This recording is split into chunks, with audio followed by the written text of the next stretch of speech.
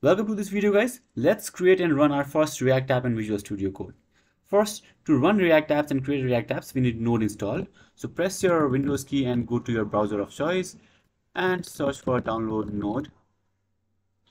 Now click on this first result. I also have this link in the description below so you can just click on this link and no need to search for this.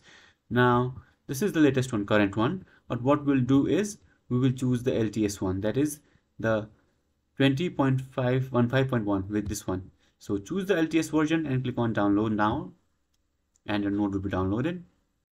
Once the download is complete, click on open file. Click next. Accept the license agreement. Click next again. And this is where your node will be installed. Click next. Click next again. And click next to finalize this. And finally, we get the install button and click on install and the installation will start. Let's wait till the installation is complete. If you are asked, do you want to allow this app to make changes? Click on yes. After the installation is complete, just click on finish. And now press your Windows key and type cmd. Click on this to open command prompt. Now we are just checking if node is successfully installed and if npm is installed or not. So the command is node double dash version and node version this is installed. Now check npm double dash version and npm is also installed. So we need both of these to create our first React app and run it. So now once we have everything in place, press your Windows key again and search for Visual Studio Code and open it. Now what we'll do is we'll create a folder that will contain all of our React apps, right? So I'll just click on open folder by clicking this, or you can just click on file and click on open folder here. Go back to wherever you want to create your project. Let's say we want to create a new folder where I'll place all my React apps. So I'll just call it React projects. Click on select folder.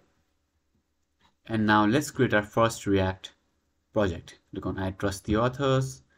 Click on terminal, click on new terminal. And now we will create our project React app. So the command is npx create dash react dash app and now give the name to your react app. So i'll name it my app. Now hit enter. Now it will ask you this. Press y and hit enter. After a while this will be complete. And this folder will be created here. If i go inside this folder as you can see i have my public directory modules directory and my source directory. So our first node sorry first react app is created now to run this, what you need to do is go cd, that is change directory, type cd and then your project name. And now you are inside your project, that is my app. And just type npm and start, hit enter. And now your React app is starting.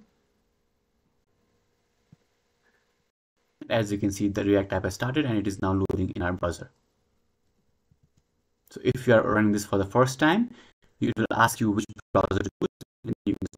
Since I've already done it, it is directly opening the React app. And as you can see, it is saying edit this file and save to reload. So that is inside our source directory. There is app.js and our app will be created. So this is how you can create and run your first React app in Visual Studio Code. If you have any questions, let me know in the comments below.